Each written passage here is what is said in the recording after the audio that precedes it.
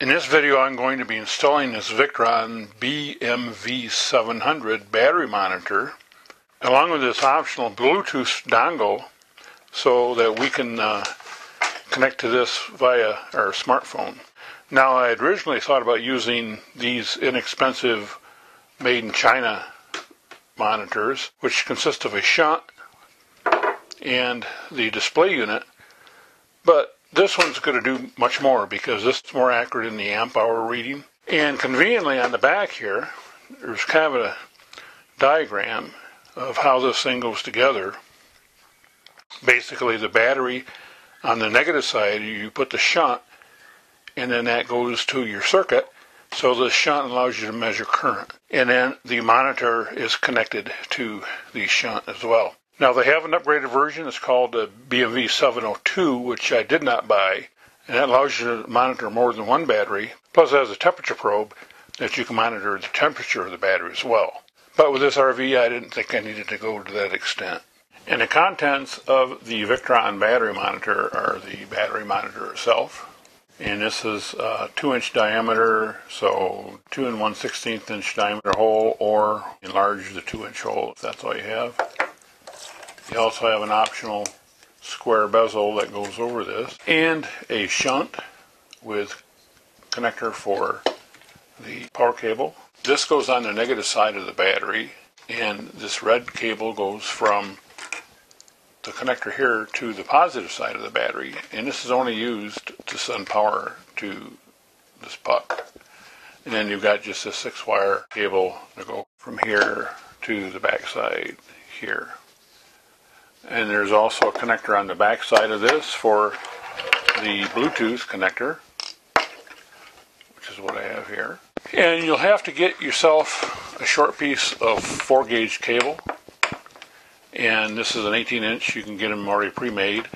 And this, by the way, is a 3 inch diameter as well as is this. And you may find battery itself may be a 5 16th so you may actually want to snip one end off if you've got the tools to do it and replace this with a 5 16 So we'll see when we start installing this whether we have to do that or not. And a quick start guide as well as the manual. And here's an old telephone man's trick that I'll show you. I got a piece of paracord and you can use any kind of nylon. And the length of this is twice the length of the blind area that I got to pull the fish tape through. And then in the center, I just put a loop in it, and then I just put a lug on each end. And when you pull the fish tape through, pull this through first, and then secure each end with a lug. And you always have this cord in the spot that you got to run wire. And since it's double the length, you can start at one end and tie your cord that you want to pull through the void on here and then pull it all the way through to the other end, and vice versa. You can go either direction. That's why you make it twice as long.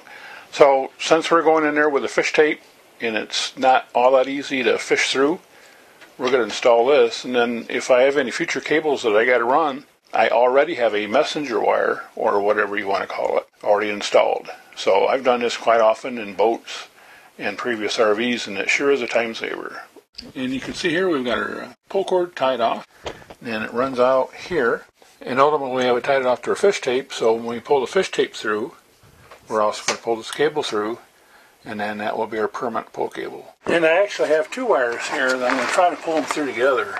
And so it's just a matter of taping both wires, and you can see I've staggered them. So that makes a smaller cross section. And as you can see here, here's the other end. And we'll call up our pull cord and we'll just toss it in there and leave it for the next time we need it. As luck would have it, these connectors are for a 3 8 inch diameter stud, which is what is on the shunt, but the battery is 5 16 So I have to replace one end with a 5 16 terminal. Now there's only one way to do this and to do it right, and I have this 16 ton press. These are metric, and so you have to interpolate between 4 gauge and what the metric equivalent is. And you also need a good set of cutters to do this right. And I just go as far as I can. There we go, that ain't too bad, it's on there. I've got the negative post from the battery going up to that side of the shunt, the only thing there. Then across the shunt, we've got the original negative of the battery going back to the system ground. And also the negative for my other circuits.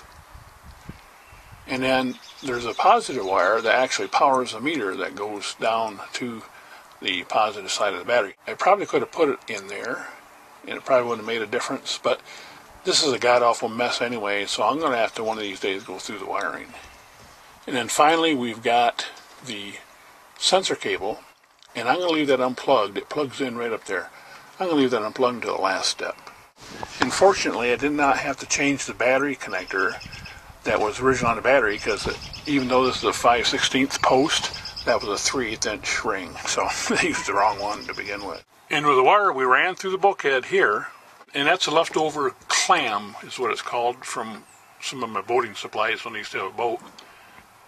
And then they just go up across, and then into the back side of the console. And so I'm thinking about the only spot I have for the monitor is about right here. So we're going to drill a two inch hole in there. And we have the hole cut, and I'll tell you, it says 2 and 16th, and it has to be 2 and 16th. I used a 2 inch hole saw, which is the only thing I had, and then I used a rotary rasp in my drill, and then just enlarged it to a 2 and 1 16th. So the first thing that happens when we plug it in is it's asking for the battery capacity, and you may have to go online to find that. I found that for my particular battery, we're at 90 amp hours at a 20 hour rate.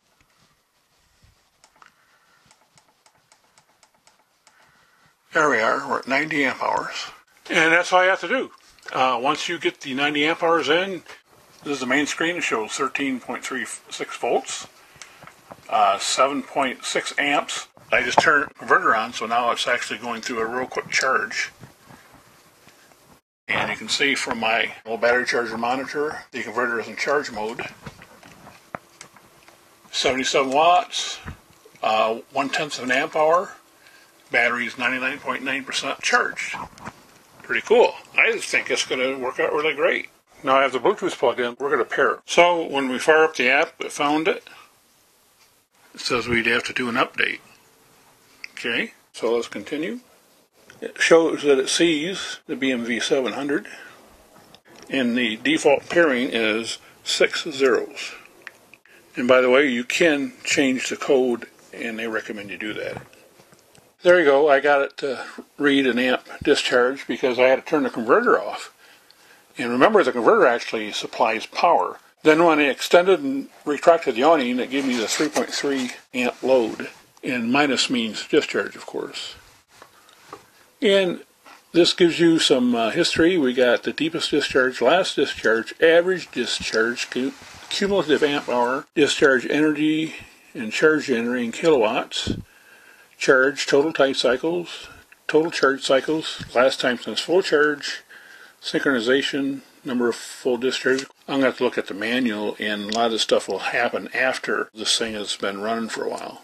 This can stay on all time because this thing runs at about 4 milliamperes. That's nothing. The self-discharge rate of the battery is going to be more than that. So you can leave this on all the time without having to worry about turning it off. In fact, there is not even an on-off switch for it. They want you to leave it on because then it's always recording and maintaining. And this app looks like it's got a lot in it. You look at here, we got battery capacity, and you can, I think you can change all these, or some of them. Yeah, that one you can change. Charged voltage, you can change that. So if your converter has a different charge voltage and charge detection time Peukert exponent, that's kind of cool. And I've actually went to the battery manufacturer and I'm trying to find out what the Peukert coefficient is. And if they ever send it to me, I'll do another video and really explain what Peukert is because it's kind of fascinating. Relay, and it has alarm relay. You can invert the relay, so I'm going to guess that you can either have open contacts or closed contacts. Minimum close time, relay off delay, low state of charge relay, low voltage relay, high voltage relay. And then in alarms, we got low state of charge alarm, uh, buzzers on. Low voltage and high voltage alarms are off. Display, we've got backlight intensity, backlight always on, uh, scroll speed, main voltage display, current display, power display, consumed amp hour display, state of charge display, and time to go display. So yeah, I'm very impressed with this.